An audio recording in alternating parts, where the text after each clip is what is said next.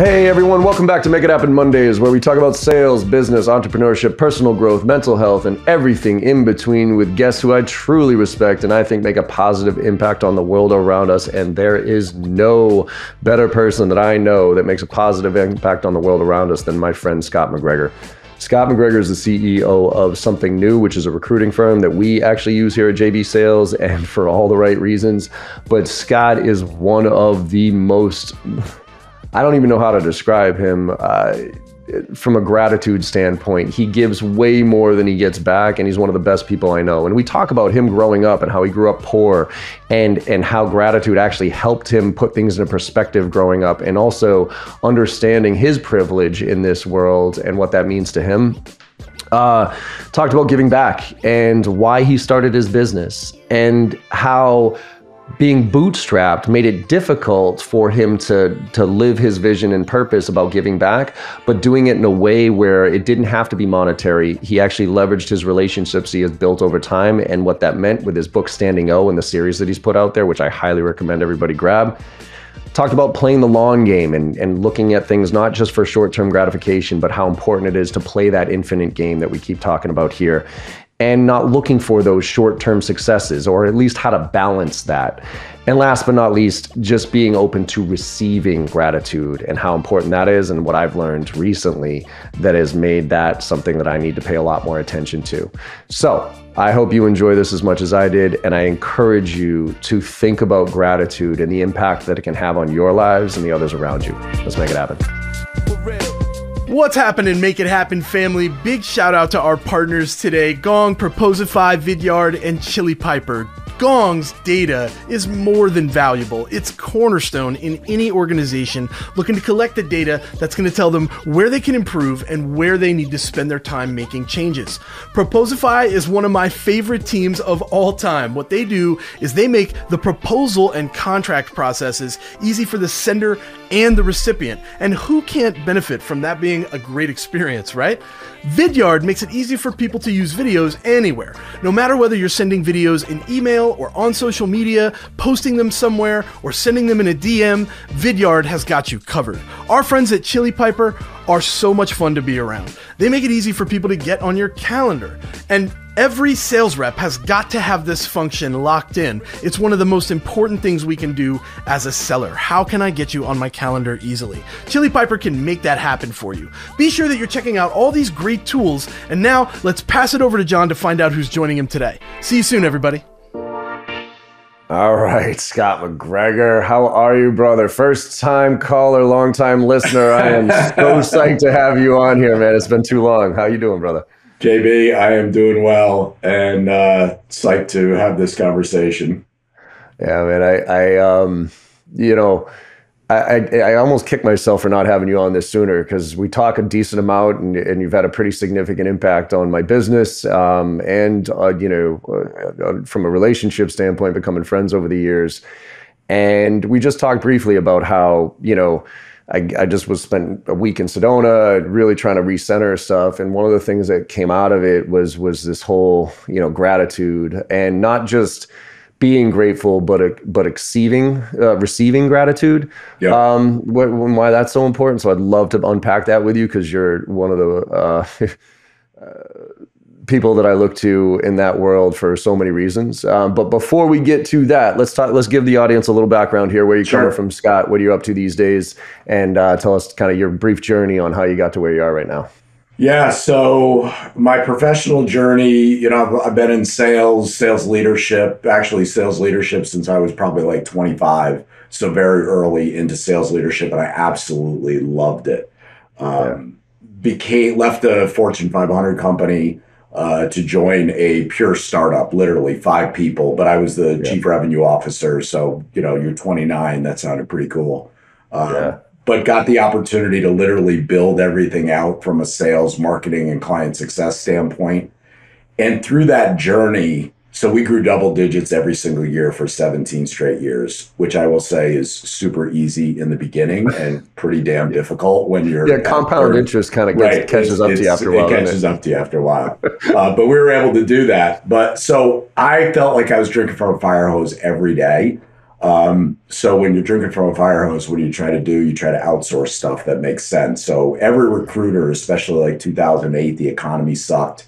We were hiring like crazy. They're calling me. And I always knew that my success was going to be predicated on the teams that I built, uh, it, more so than our go to market strategy or anything else. So I was really disappointed in what I was getting from traditional agency recruiters. And I thought I can build a totally different mousetrap. Uh, and that's what I did. So I, I, was scared to death to actually start the business um, for many reasons, probably because I grew up poor. Um, but my wife finally kicked me off the cliff. I started a company called Something New seven, little over seven years ago. Um, it's been phenomenal. And then about a year ago, I started a private community called the Talent Champions Council. But the thread throughout both has been gratitude and giving back, which I'm yeah. I'm excited to talk about because not everybody wants to talk about that. No, and I I can't tell you, and and this is why I think it's so important. You know, I mean, as you know, the past you know year and a half, everybody's been you know had a tough. Uh, there's not one person I've talked to in the that hasn't had some sort of holy shit story over the past year and a half yep. of stuff they've had to deal with. For me personally, one of the ways that it got that that I got through it was getting back to my gratitude journal um, writing things down, being purposeful about looking for positives as opposed to being consumed by the negatives, which yep. we can easily be consumed by with news and all that other stuff. Where for you, um, how, where did this come from for you from a gratitude standpoint like was it was it a childhood thing was it you said you grew up poor like wh- how, when did you recognize how important gratitude was uh, for your success and I mean, for your I, your peace of mind if you will yeah, I think I, you know, early on in my life, uh, so I grew up poor in a very affluent town, which was a hmm. really weird way to grow up uh, because yeah. everybody around me had tons of money and we were pretty poor. Um, and I, I just realized like very early on, and I don't know that I was thinking these thoughts, but like I could either be a victim or I could be grateful for what I had. And so for me, sports was kind of what leveled the playing field uh, for me. And so I was, I just kind of always have had this gratitude inside me. And although throughout my life I've had uh, my fair share of insane things happen to me, um, I think I always keep the perspective that there are, you know, there's a line behind me that is miles long that would take my place in my worst moment mm-hmm. uh, in a nanosecond. Um, yeah. And so I always kind of keep that in mind to check myself. Mm-hmm. Is, you know, I have a choice. I can feel sorry for myself that this is happening, um, or, you know, I can look at it that, you know, lots of people would would happily take my place um, and I also kind of, my mindset is always, and this is including, uh, you know, the pandemic. Mm-hmm. I'm kind of grateful for the hard shit because I feel like it's going to the gym. It's like I'm building the muscle.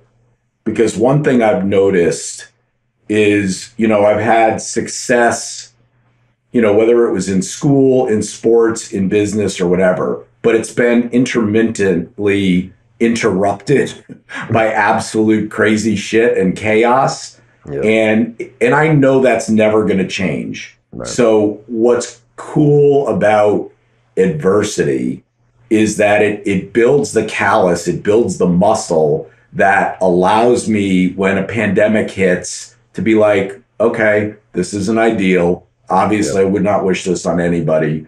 Um, but uh, I'm going to get through this. Um, it just it makes you stronger. So I, I, look at it almost from a positive perspective.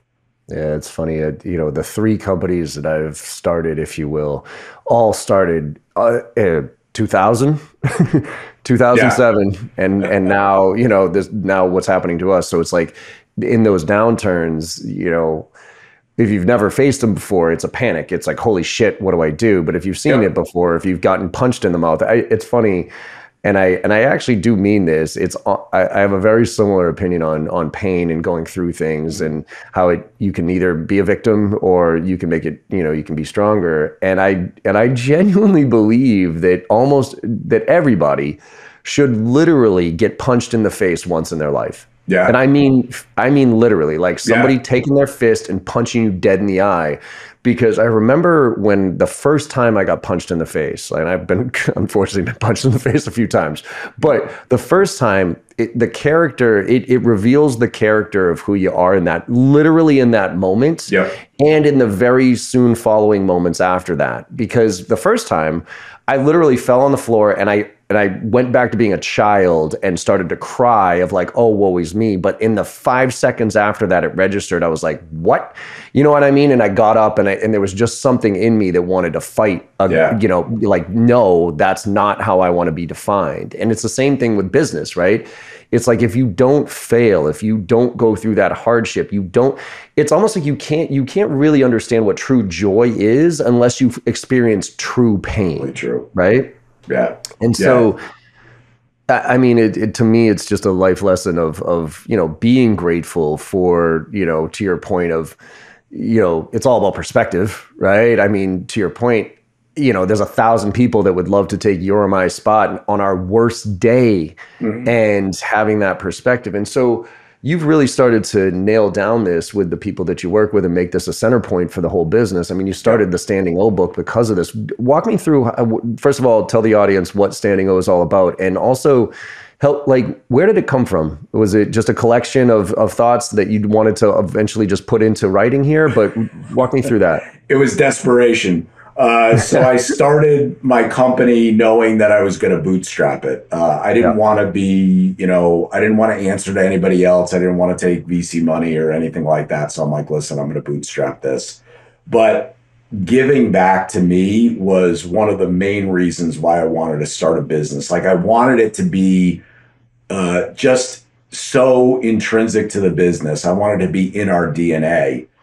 So the problem is you're bootstrapping a company, you're putting all of your money back into the company in order Yep. to, you know, get it to grow and survive and, and be sustainable long term. So I'm like, shit, how am I gonna give back? I can't write big checks. Um, Right. So I thought, what are my assets? And I thought my assets aren't like this giant bank account. My assets are my relationships that I built over decades with amazing people like yourself, uh, with pro athletes, Olympians, best selling authors, CEOs, just really super interesting people. Um, so I'm just fascinated by interesting people. So I, I have this gigantic, uh, I don't really call it a network because it's really a group of friends um, Yeah. that is super eclectic. Uh, so I thought, why don't I ask these folks, including you, uh, to write a chapter of gratitude for a life lesson that they learned? I'll put it in a book and I'll give all the money to to charity. So the first book was Standing O. Dick Vermeil uh, wrote the foreword. Tiki Barber wrote the cover quote. You wrote a beautiful chapter about your mom and dad. Um, I I, re- I remember it distinctly, um, and I think you know, I'm like, okay, I'm on to something. Uh, it was a great vehicle to shine a big spotlight on organizations that I really cared about. It was also a way to give them some money along the way. And we always choose kind of underserved and unknown charities. And it worked. Uh, so we had 52 uh, contributing authors uh, because I'm not, you know, the smartest guy in the world. I'm like, okay, wash, rinse, repeat. Uh, I think I've got another 50 some odd friends that are super interesting. So did Standing O Encore. Heather Monahan wrote the foreword. Jesse Itzler wrote the cover quote. Uh, then I have a huge affinity for the military. Um, so I had a bunch of Navy SEAL, Green Beret, Ranger, General buddies uh, write chapters of gratitude in a book called Standing O Salute, and then did Standing O Tribute uh, with Brandi Chastain and, and some other people. And then I have Standing O Honor coming out uh, in October. But all of them focus on a different um, different charity. But the the through line for all of them is they're all a book of gratitude for a life lesson learned. I, I mean, I think it's a fantastic book, but all all of them are. And feel blessed to be a part of it. and and again, you know, it it also forced me to think, you know, who is that person I am truly grateful for, and you know, being able to reflect back on that and think about it. You know, I'm grateful for a lot of people in my life, you know, you included, but it's like, what's that one that was that life lesson that you learned from that you're grateful Right. for? And it, to me, it centered around my parents. There was Yeah. no question about it. They put me in a position to be you know, uh, where I am. You know what I mean? As far as the and, and we talk, you've, we've talked about this before, the privilege factor, right? And Yep. it's in that quote that I got on my arm now from Dad.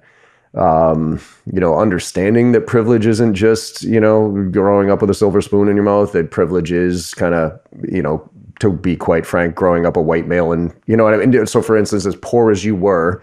Yep. You know what I mean? Growing up in a in an affluent area, you were still a white dude. you know what I mean? No, this- no doubt about it. and this world is built for white males. You know what I mean? And everything that you and I get promoted for or get acclaimed for, other people get, you know, put down for in a lot of ways. And so recognizing that privilege, I think, is is something that is extremely important and has become more important for me over the years uh, as I realize kind of what opportunities I've been given yeah. or allowed 100%. that others don't. Um, you you also play the long game quite a bit. Can you talk to me about your kind of philosophy on on short term versus long term relationships? And I, I'm gonna I'm gonna preface that with this as an example, and I use you as an example um, in my trainings and when I talk to people. I, do you remember how we met each other? Like, when was the first time we met each other? Physically, Matt. Like, no, just like start like knew each Oh, other. just yeah. So I mean, you were on my radar screen just because you know I just really admired your business. I admired uh, you know how candid you were on social. Um, you know, I was always in sales, so kind of a sales geek. Um, so I was a, a fan early on and wanted to develop a relationship. Um, you know, and and knew what your passions were, and I knew uh, two things about you: love the Patriots uh, and love your daughter Charlotte. Uh. So had an opportunity um, to uh, run into a, a, a Patriots player, Malcolm Mitchell, who had Malcolm written Mitchell. Yep, children's I still book. got the book. Yep. Um, this is the part of the story you might not even know this. So he was coming to my town, and in my town there's a bookstore. It's called R.J. Julia. It was rated the number one independent bookstore in America. So they get like the best top people, like Yeah. authors from all over. So he was coming. It was a, a snowstorm. I couldn't go, so I sent Kathy Lecky uh, to wait in this horrendous line in like a blizzard uh, to get this book signed for Charlotte. Um, and then, you know, just sent it to you. And I said, uh, hey, I thought, you know, maybe she might enjoy this. There's never, I, I like to do that stuff just because I like to surprise people. I like to do thoughtful things that'll put a smile on their face. Mhm. I had zero, zero expectation or even thought that we would ever partner together and do any business. Um, I kind of, to your point of, I mean, so that was kind of the genesis of how we started communicating back and forth. Um, and you know, I don't think I ever talked to you about business. I think you called me one day out of the blue and said, Yeah, "Hey, I, you know, we've got a need." Well, I think that, and that was what floored me was I remember that I got that book from you. It was signed for Charlotte, and I and I remember being like, "Geez, I don't get this type of thoughtful gifts from my family for crying out loud." and and I sat there and I scratched my head about like, why is why did he send this to me? Because I'm a solopreneur at the time. I had no intention of hiring anybody. I knew what you did. And I'm like, why would somebody who I really barely know go out of their way to do this? And and and and it, you know, at first I'm like, what's the angle here? What's going on? But then I just realized it was genuinely to your point of you're just somebody who you know, is thoughtful and is proactively thoughtful about certain things. And I and I remember being like, all right, you know, so first of all, yes, let's like let's forget about from a business standpoint. I want to be connected with you but I I use you as an example of betting on the long. You know what I mean? Like not being not doing things for a reason in the sense that oh i'm going Right. to do this so that i know that in two years when john blows up i'm going to be the guy but doing things just because it's to a certain degree the right thing to do and you know surrounding yourself with the right type of people and what's funny about it is it's obviously blossomed into a good friendship here but also you know we got what uh, you know 12 people on staff here and you've hired at least three of the most critical people uh, Yeah. in my business and the alignment is i mean I tell people all the time by the time they get to me, it's not like after they go through your process because you know me and my team so well that uh, you know it's not uh, an interview by the time you get to me at least. By the time you get to me it's like all right let, let me just figure out you know let me just talk about your background. Let me learn, learn where you're coming from so i know what type of person i'm going to be working with here i mean i remember uh, meg when she came on board like i remember having the interview and she was still kind of in interview mode. And Yeah. we were just shooting the shit and half and, and at- on the way out uh, she she did what meg does. She asked the closing question which i love. She's like so you know where where you know what's the next steps or what do you think? And i'm like oh no you're hired. There's there's no question about it. And she was like what what? I was like yeah yeah. I was like this is a foregone conclusion by the time you hit with me unless you fuck Yeah. this up. You know I mean? unless you say something Right. outlandish in this in this lunch meeting here you're on board here. So I, I mean do you just have that lens um with with people you come across who is it because you see something like you said you you liked the authenticity you liked the vibe if you will and you said that's somebody that I want to at least be connected with or was there some other view viewpoint on that? And how do you, Uh, and how do you put that lens on for others? You know what I mean? I'm fascinated by people that are at the top of their game, whether that's military or sales training, or it doesn't matter what it is. Could be tiddlywinks. Like if you're the mm-hmm. greatest tiddlywinks player in the Yeah, world, yeah. like I'm kind of like, that's pretty interesting. How did that happen? So I think where people screw up is they think things are linear and they also think in terms of monetizing every relationship. So people will say, you know, well, am I going to do that for John because is John going to become a client? I never ever think that way. Uh, all I know is that throughout my life, I've wound up in pretty good spots from a business perspective. And when I sit there and I go, how the hell did I get here? I kind of reverse engineer it. And it's not a straight line, it's a circuitous, crazy path yeah that I'm like, man, if in the beginning I had tried to predict that, there's no way I would have ever predicted it. So why try to figure out like, oh, is this relationship going to monetize? First of all, I could care less whether it does. Um, I'm just interested in building relationships with amazing people. And historically, like it turns into good stuff. Uh, Sometimes that's a business relationship. More often than not, it's not. It's just, you know, somebody that I can rely on, somebody that I really trust. Um, you know, you're kind of going through a journey now uh, that it's cool to be able to pick up the phone and say, hey, JB, like, tell me a little bit about your trip to Sedona and tell me about kind of what your thoughts are in terms of your business in the future because we're, you know, we're on somewhat similar paths. Yeah. And I, you know, the the relationship part of this of of being around people, you know, who lift you up, being around people who challenge you, and and taking the the infinite game approach here to, you know, what I'm not trying to get everything out of a relationship. I'm not trying to score every relationship that I'm in right now. Um, I, I think is is so critical to long term success, but I fear about the short term world that we're in right now. So you and I are in a, uh, I think, a, a pretty enviable position ultimately that we run our own businesses. We don't really have a boss. To your point, I there, I didn't start this because I want to start a company. I, I started this because I didn't want a boss. Period. Right. That's exactly why I do Yeah. what I do. I did not want somebody else. That's why I've never taken VC funding. Um, so we're in a pretty good position where we can play the long term. We can look at it and not have to monetize every single piece here. But how do you? How would you advise? Or is there a structure that you can think of of how to integrate that long-term view of relationships into your world when you're when we're living in such a short-term satisfaction world. And and I mean that from both Yeah. we want short-term satisfaction but also we're being forced to be driven to short-term satisfaction. And let's be very tactical with like you know I have to make my 50 dials today. I have to make my you know what I mean? And yeah I care about this relationship. So one more piece of context it's that like SDR or AE who knows they're only going to be in territory for a year for instance okay Yep. so I could do right by this client and and know that they don't really need what I have now, but they probably will. So let me give them some free stuff here. But I know I'm probably going to get promoted in another year or two, so I'm never going to see the benefit of this. So why the fuck do that? I need to hit my Right. quota this month. How do you uh, uh, how do you guide somebody in, in practicing the long term play in such a short term driven world?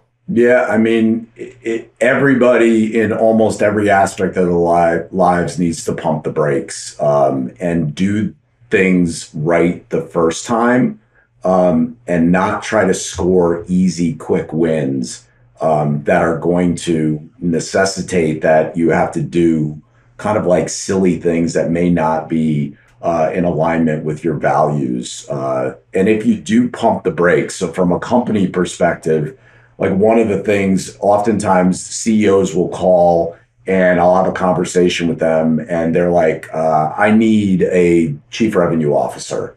And I'll actually talk them out of it and say, what you really need to do is figure out your process first, like get a really good process, figure out your onboarding, figure out all of this stuff, um, because that's going to pay off for you big time. Um, everything that we do, you know, look at um, people that are trying to make tons of money overnight. Um, Right. Look at people that are doing crazy diets and crazy stuff physically to lose weight or whatever. That shit's not sustainable.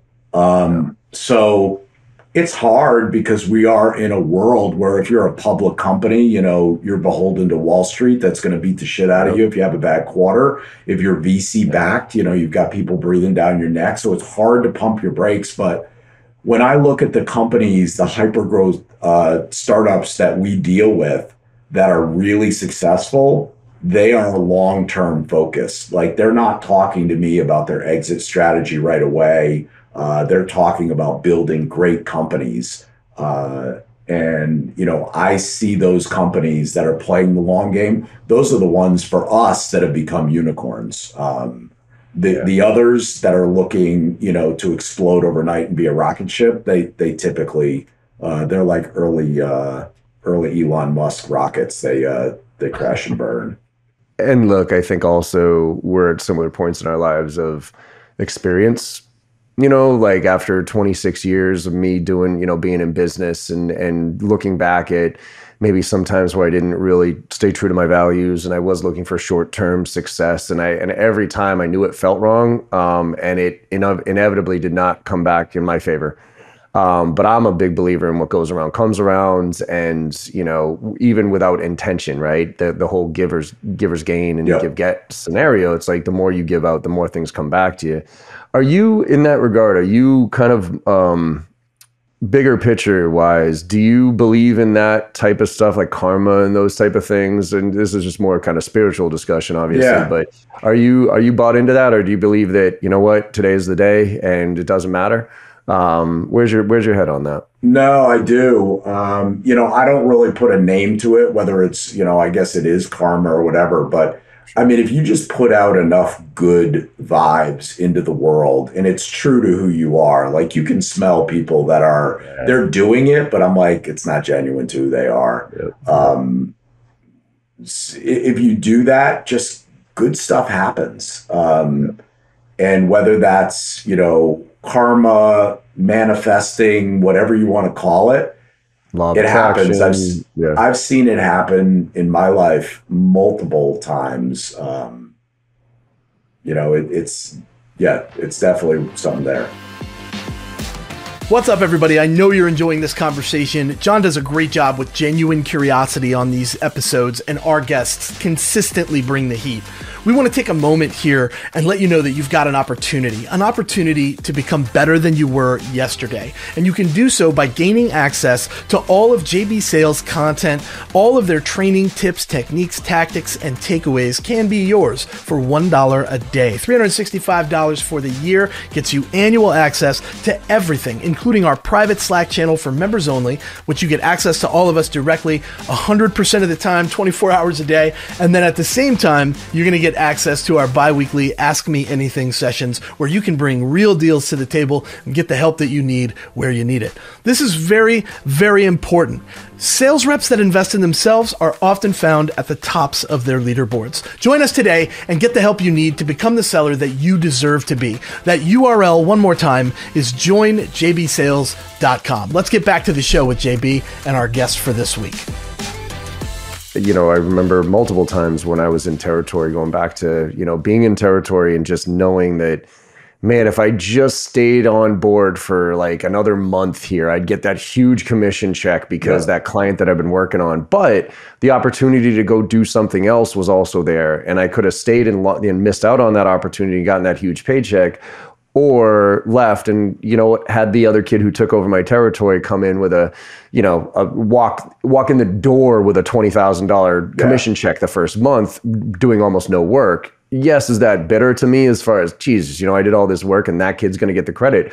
But then all of a sudden, a deal that I had no idea was going to happen, you know, all of a sudden lands in my lap, or right. the opportunity that I was, yeah, I did not expect comes knocking on my door for the promotion that I wasn't expecting, type of thing. So it's just to your point. I, there's been way too many points in my life where I've, I, I just can't ignore it. You know what I mean? I can't ignore the fact that when you're focused on the positive and you're putting positive stuff out there, that that type of shit just ends up coming back to you. And if you're focused on the negative and you put negative shit out there, that type of stuff comes back at you. Well, we totally you all know. I mean, I'm sure you know as many people as I do who are just those Debbie Downers, and everything negative happens to them, and it just seems like they can't catch a break. And you look at their mentality around it, and it's like, yeah, they're they're stuck in this "woe is me," oh, you know, eh, life happens to me, not for me, in mentality. And you're like, yeah, you just you know, I, I know why. Yeah. So, I mean, there's a lot of people that, uh, you know, they try things, uh, but they do it once and then they're, right. you know, they're all bummed out because they didn't get results. And I'm, you know, one thing I know is consistency and discipline uh, will take you very, very far. So pounding that rock every day and just having the discipline to know that eventually it's going to crack. Um, I mean, that always works. I was I had a conversation with a guy the other day, and he said, "Yeah, you know, uh, this person who's a pretty influential person, I sent him a, a note, and they didn't get back to me." And I said, "Okay, like, did you do this, this, this, this, and this?" No. And I'm like, well, okay. It's like going to the gym, working out once, and going, geez, I'm still uh, not in shape. Well, yeah, no shit. That's not the way it works. Well, and also understanding that other people have shit that happens in their lives. I mean, look, at the end of the day, I want to say thank you to every single person that hits me up on LinkedIn and all that other right. stuff. There are days that I just miss some shit. You know what I mean? So it's like I can't uh, blame somebody else for not getting back to me on certain things. And you know, I, I, think I have a little bit of a regulator in there where I try. I, I know this is probably not the right way to look at, it, but I have a kind of a three strikes and you're out rule type of thing. Like yeah. I'll do like if you screw up once, whatever. You screw up twice, okay. If you screw up three times, okay. Now I got to kind of start adjusting my approach here. Yeah. That doesn't mean I'm not going to be cool with you, but like for instance, friends, right? If they move out of town I'll call him once. Hey man, let's get let's catch up. Whatever, how you been? I'll call him a second time. Hey, what's up? I'll call him a third time. Hey, what's going on? And after that third time, if I'm not getting them, if they're not calling me, mm-hmm. it's not that I won't call them. It's just my expectations of our relationship have now changed. Sure. Yep. Because I need some mental health too. Because the other part of this is, I have this theory that everybody keeps score, whether it's subconscious or consciously, um, because it's almost like you don't, you know, you take out the trash, you do the dishes, you know, and all of a sudden, after a while, your wife or your significant other is like, says something about, oh, you know, you haven't done anything. And you know for a fact that you've done all this stuff. And so immediately you're like, wait a minute. And right. now you. Here's the like, laundry I, list. Right. Well, I tell people like I don't keep score until I'm forced to keep score, which means I know I subconsciously keep score. So, where's your head at on that kind of equality of relationships, if you will, and does it even enter your mind when it comes to doing what you do? Um, I mean, I always want to give way more than I receive. Um, so I'm always, I mean, do I mentally kind of keep score? I guess in a way, but I always want to make sure that the ledger, like the balance, is more like, wait a second, I, I hope that I've done way more for everybody that I have a relationship with than they've done for me. Um, and I, I want I want to make sure that that always stays the same. So and and for me it's it, i mean some of it is selfish. Like people say well why do you do some of this stuff? It's fun. I mean pure and simple it is fun. Um which is this kind of a selfish thing like i enjoy it because it, it's fun for me um so yeah i do keep score but in a little bit of a different way in terms of i'm, I'm always trying to make sure that you know what am i giving to this relationship not kind of what am i getting back How open are you to getting back? So, to to being given back gratitude, for instance, do you have a hard time accepting gratitude? Um, I used to. Uh, probably a little bit more difficult for me to accept a compliment or a nice thing being done. I mean, when somebody does, uh, I'm immediately like, okay, I I, I got to kind of uh, get that balance back and do something for them. Um, But you know, you've got to let people enjoy giving to you as much as you enjoy giving to them. So I guess that's kind of how I think about it. Is when I really think about why do I do it, I do it par- partially because it's fun for me. So I know it's fun for them too to to kind of give back and say thanks. I think that's something I'm coming to the realization of is like I have a very hard time. I mean, part of this, you know, little journey I was on, you know, the the worthiness, the the gratitude of being able to accept it is just as important as as giving it. Yep. Because by by not being willing and open to receiving uh, gratitude and and appreciation, you're actually robbing the other person of that joy. Sure. Right? So like true. my my aunt or no i'm sorry my cousin who passed away and her kid right? Going through the grieving process my aunt not dealing with it well. And he had this very poignant you know very interesting point where he said you know I, whatever anybody wants to do for me i'm willing to accept it. He goes because what i realize is if you know when somebody passes away you're always like no no no i you know don't you know i don't need anything just whatever and you're robbing those other people of the joy of providing something to you. And if you think about that that's actually kind of selfish in a lot of ways. If you are and look sometimes you have to be selfish to deal with whatever you're dealing with but to not allow others around you who are hurting for you Right. to not give you that level of you know gratitude as actually robbing them of happiness in a lot of ways. And that really stuck with me. I was like you know what? You're spot on on that one It's a great point. It's something um, I didn't think of it quite that way when you asked the question, but I do. I have a hard time asking for help. Uh, Yep. I always feel like I've got to figure it out myself. Um, Me too, yeah. And I don't want to burden other people with my problems, but you know, you can take that to an unhealthy extreme. Um, yeah, it's a good thing to think about. Yeah, and, and actually, that that I think that's one of the things that's potentially blocking, you know, me, for instance, from getting to that next, cracking through into that next level is Yep. just being open to saying thank you.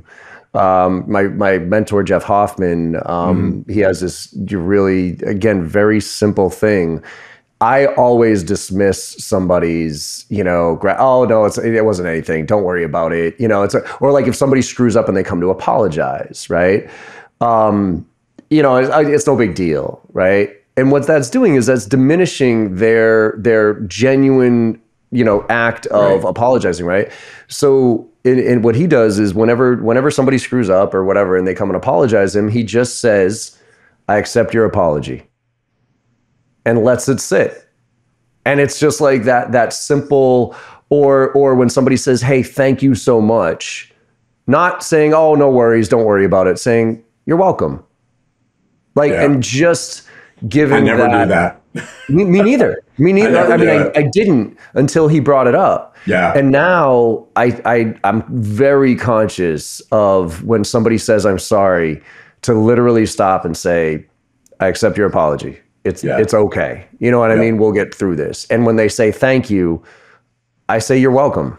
You know what I mean? I, I really try to uh, stop myself from diminishing their appreciation or their you know, uh, sentiment by saying, "Oh no, no, no, it's no big deal," because that's me trying to be like, "Oh no, no, you didn't need to say thank you." It's right. like I'm trying to be the giver versus the receiver. But again, what that's doing is that's robbing them of the the courage it took them to come and say, "I'm sorry," the courage it took them to to say thank you. Yeah.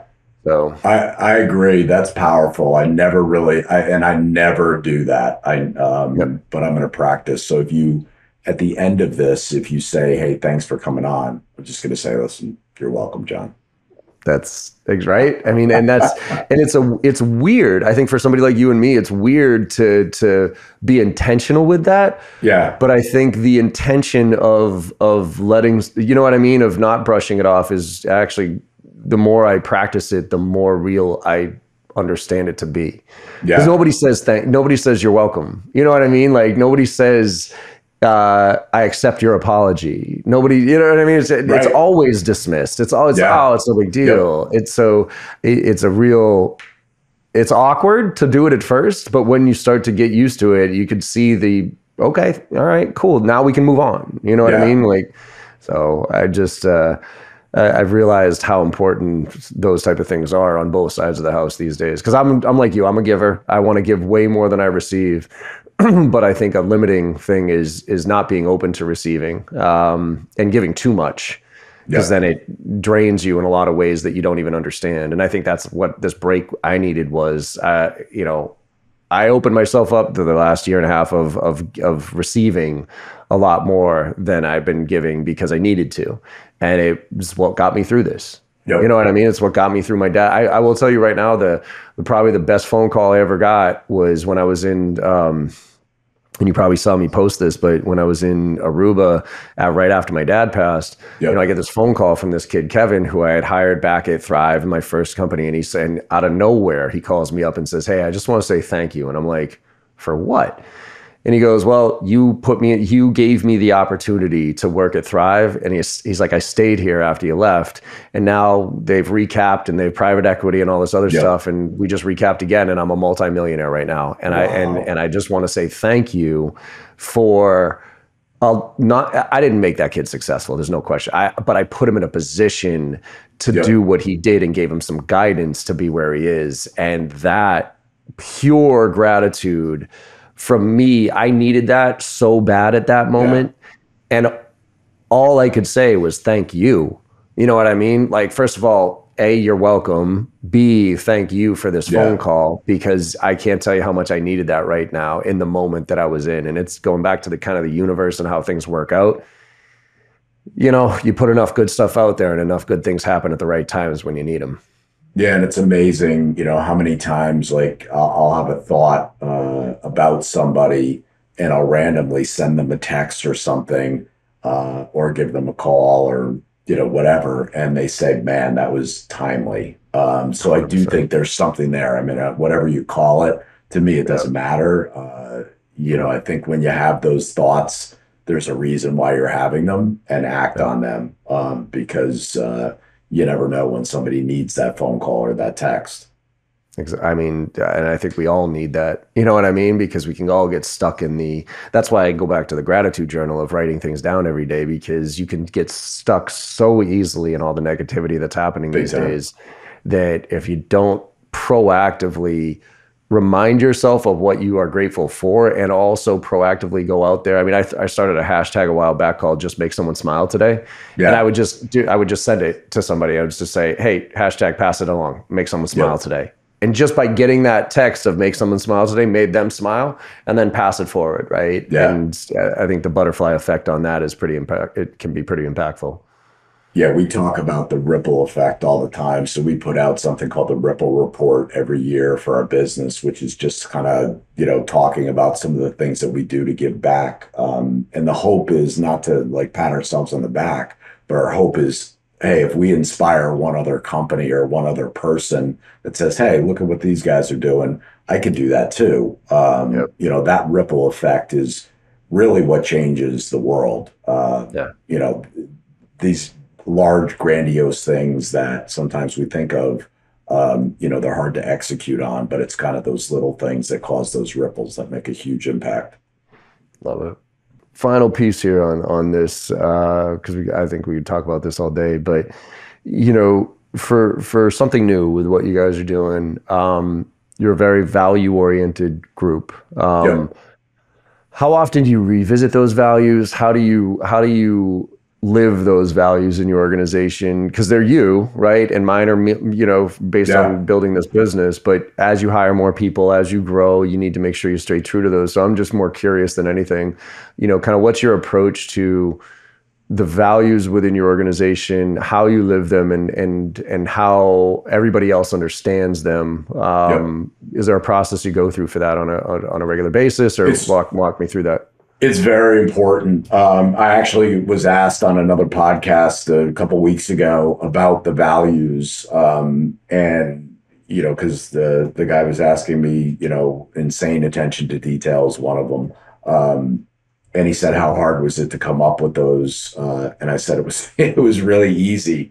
because it was all just uh, true stuff to me. It's like, uh, you know, I remember in my former company." We literally would have these meetings about coming up with a mission statement or values and, yeah. and it was all just bullshit it was more what do people want to hear right. rather than like what do we really believe in so for me you know it was easy in the in the beginning it was just me um before i hired anybody so i'm like right. what do i believe in and yeah. i just put those down and i said you know, everybody that I'm going to hire has got to believe in kind of the same stuff. Um, and, and that's just super important for us because we're kind of maniacal about thinking about the candidate and client experience. And it all ties into those two things. Like, I'm not a big metrics guy. I don't really keep track of stuff. Like, I keep track of the big things, which are, you know, what's our candidate experience? What's our client experience? If they're all saying like it's fantastic and our NPS score would back it up, it's 94.4%. Uh, that is one metric that I do I do keep I like uh, track of. Yeah. Um, that's what I care about. That end result. Yeah. Um, so is so when you work with companies for your approach, because I mean you're spot on. Like I, I I say this till I'm blue in the face if we have the same core values, then everything else ends up taking care of itself. If we don't, we end up fighting and arguing. So, yep. how how many companies do you work with that it's clear to you what their values are? Um, to help you, like if uh, uh, maybe throw a percentage at it of like ones that you work with, you're like, yep, I am crystal clear on their values, and therefore I know what type of candidates. Versus, uh, uh, you know, I don't know where these people are coming from, so it's a little bit harder for me to go find them something. It's probably 50-50 to be honest. Like with yeah. you guys, one of the things that's uh, that makes it so uh, enjoyable to work with you guys is I know exactly what you guys value. Um, so, you know, when we're doing kind of our two-tiered vetting process, uh, we know right away, like, is this a JB sales person or not? I mean, obviously we have to figure out skills and, sure. and all that other stuff, but right. value alignment is easy. Um, for a lot of companies, I think they're trying to figure it out. And, yeah. you know, we've made some mistakes uh, throughout the last seven years of taking business um, from companies that, you know, our values don't align. And those are painful yeah. because I have to wind up firing those clients. Um, 100%. Yeah. You know, which I've gotten better at doing. And you're always kind of ringing in my ear because I always think, you know, what's the solution? Um, a huge pipeline. Uh, if you have right. a huge pipeline, you you can choose to do business with uh, companies that values align with yours. And I and I think that's such an important takeaway for people to listen. And it's not just the employees; it's it's the customers you choose to work with, the people you decide to sign surround yourself with, the partners. You know what I mean? Like it's it's so much easier when you are so clear on what those values are. Yep. Because then you can get really good. You don't have to fire people because you won't bring them on in the first place. I mean, there's been plenty of customers where through the sales process, I've been like, nope. You know what I mean? Like you're a churn and burn, or like you just want to, you know, you want your reps to make hundred dials a day and da da da. I'm like, no, I, I, I fundamentally do not think that that's the way sales should be done. I don't think that's the way we should treat our sales professionals as far as a conveyor belt here, as far as you know, just getting them in and getting them out. So as much as money as you want to throw at me, I have zero interest in working with you and it's and it's nice to be able to sit back on the core set of why I'm saying that. Not just because I don't feel like doing right. business with you, it's because you don't align with our values. So therefore, it's going to be hard for me to stand up in front of your team and motivate them in a way or teach them in a way that is effective because it'll come it'll be disingenuous. It'll you know it'll it'll be something I don't believe in, and that'll come through. No question about it. So yeah, it's it's one of those things that we talk to candidates about when we're talking about your company in particular is you know your willingness to walk away from easy money um, because either it's values that don't align or sometimes i know you walk away from business because they're they're just not ready for right. you guys. Um, and it's probably not a big deal to you because it's a it's just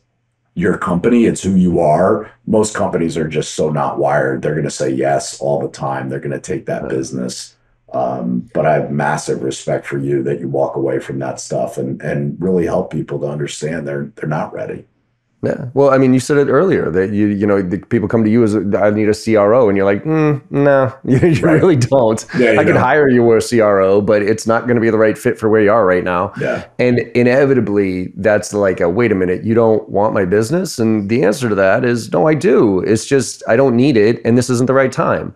And when it is, I'm happy to help you. But right now, you need X, Y, and Z. And if you can yeah. get to that point, and I, I wish that everybody could get to that point, but again, I go back to the short term world VC funding, push it down your throat. That's why they accept bad revenue. That's why they accept bad clients because they have money.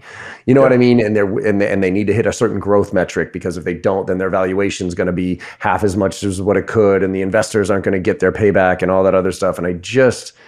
I just wish that people would take their foot off the pedal for, you know, five fucking seconds and, yeah. be able to breathe a little bit here because it would be a much more enjoyable ride if uh, if that stress and that pressure wasn't there, and we could all just do business with people that we wanted to do business with because their values align.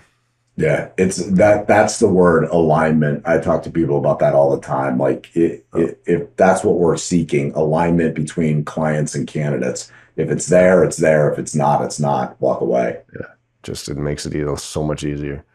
Um, so Scott, we can finish this up, um, but let's talk a little bit briefly here about who are the clients you work with and who are the ones you don't. You know what I mean? Because we, you know, under the mm-hmm. realm of like recruiting, we could go, oh, with churn and burn, we're going to get you 50 SDRs, or we're super hyper focused. So talk to me about what makes SomethingNew a little bit different, and really who you like working with, and who you are not a fit. Now, I'm gonna say don't like working with, but who are yep. you not a fit for? Um, companies that just want a body, we're not the right solution for them. Um, mm-hmm. We really want to help educate people on how to do things the right way. We only work with hyper growth startups uh, for the most part because we want to have access to the CEO because we understand that our everything we do, our methodology is very different, and you know they everyone just wants to put you in the bucket of like what traditional recruiting is is like. So, you know, unless you're at that level, they're never going to get it.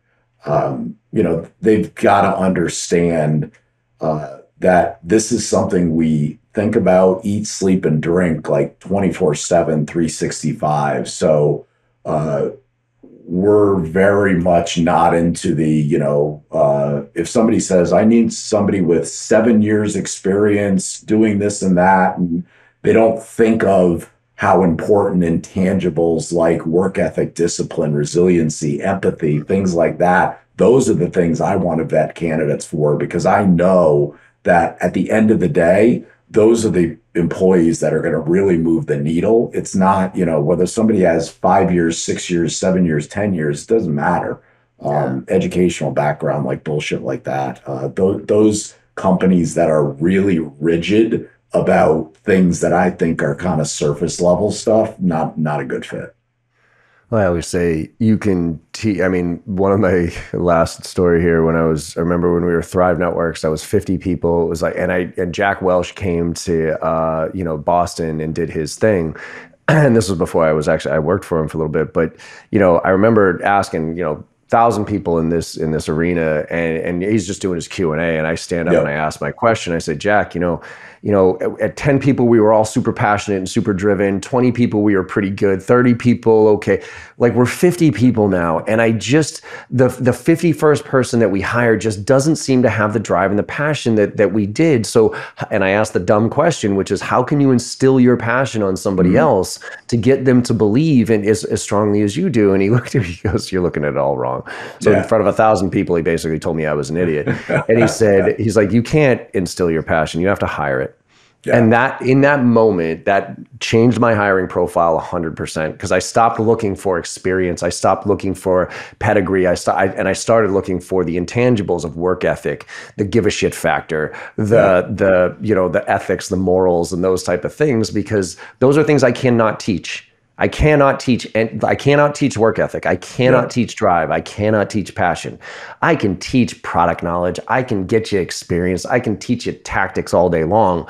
But if you don't have those core things in place, nothing, none of this is going to work out. Right. I don't care how good you are or experienced you are in that job. If those things aren't there, it doesn't matter. And so that's where I recruiters and and companies are lazy because the reason why they like industry experience or seven years doing this or that is because it's so obvious. It's on their LinkedIn yeah. profile, it's on their resume. You right. can't look at a LinkedIn profile or resume and, and find hard work, discipline, resiliency, empathy. That you you've got to have the skill to uncover uh, whether somebody has that and to what degree they do. So people are very lazy and and they just rely on you know silly things that uh, that are not really that meaningful at the end of the day. I cringe when I hear, and thankfully I'm starting to hear the trend of moving in the other direction, but I cringe when I hear, oh, we only hire from the top colleges. It's like, right. fuck you. Stupid. You know what I mean? Like, Stupid. literally, okay, maybe, just maybe, if you are looking for, like, if you're, uh, you know, uh, a consultant agency like yeah if you're you McKinsey I get it McKinsey sure right. fine because you need that pedigree to prove to the people that you're charging a ridiculous amount of money to run a stupid survey for you that it's worth it but if you're in the world if you're in the real world of like results and sales specifically I don't want the brainiac kid from the college that mommy and daddy paid for I want yeah. the state school kid that grinded their way through college paid their way through had three yep. internships along the way and got a 2.5 because they didn't have fucking, you know, 50 hours a week to study and a tutor to help them through it. You right, know what I mean? Right. So totally agree, awesome, brother. Totally agree. Well, look, uh, any last, uh, any, where, where should people go find out more information about you, Scott? Yeah. I mean, you know, believe it or not, I'm, I'm not a big social media guy. I mean, I'm super, super active on LinkedIn, but, uh, you know, it's for business purposes. So LinkedIn is definitely the place to find me. Um, I love to connect with uh, interesting people. Um, so that yeah, that's that's by far the best way. Love it. And for those listening, it's Scott MacGregor, and it's M A C G R E G O R. All right, so look him up on LinkedIn. And it's is it is it try something new dot org? What what's the website? Try something new now that's dot com. Yep. Uh, Try something new. Something now, new was like somebody wants fifty grand for it, and I said, "Nah, no thanks." Uh, well, it's the same. Uh, by the way, it's the uh, same thing with Make It Happen. I tried to trademark Make It Happen, and somebody had some clothing store in like some piece of shit little clothing store in Australia right. has the trademark. Yeah. And I'm like, try, and they want like you know a fucking million dollars for it. I'm like, nope. Uh, I think I'll just brand it myself. yeah. So try something new now.com or talentchampionscouncil.com. Easy. Yeah, I love that. Yeah, follow that along too. That's fun. Cool. Uh, awesome, Scott. Well, again, thank you, my friend, for coming on board here. oh my God. Thank you. This is uh, long overdue. You're welcome. Uh, and I appreciate you uh, more than you could imagine. Give my best likewise. to uh, Kim and Charlotte for me. I will. Thank you. And likewise. Um, and look, everybody, uh, you know, if you're if you're struggling right now and you're thinking that things are in the moving in the wrong direction, I, pr- I promise you that that practicing gratitude will will help in some way, shape, or form. Maybe not short term, but it, I promise you will happen long term. So An easy thing to do, like I always say at the end of all my podcasts, is go out there and make somebody smile today. Because no matter how shitty your day is, if you go out there and you make somebody smile, you know you had a good day, and the world needs a lot more of that. Thank you all for listening, and I will see you on the other side. Thank you so much for your time today and listening to the podcast. I hope you enjoyed the conversation as much as I did. With your support and our incredible guests, we're one of the top sales podcasts in the industry with over a million downloads, and I can't thank you enough. To keep the momentum going, if you could go to your favorite podcast platform and leave us a five star review, I would greatly appreciate it. In return, I will answer any question that you have on Instagram. Hit me up there at John M as in Michael Barrows with a video question or a DM, and I will get right back to you, I promise. And last but not least, if you're looking for training, I'm adjusting my training approach this year, and I'm actually going to be delivering training to the masses. I'll be delivering live training the first and second week of every single month with our two marquee courses, Filling the Funnel and Driving to Close, to anybody who wants to join. And it includes membership in our on demand platform with weekly AMAs. So you can go to jbarrows.com slash open to check out the details. Thanks again and have a great day.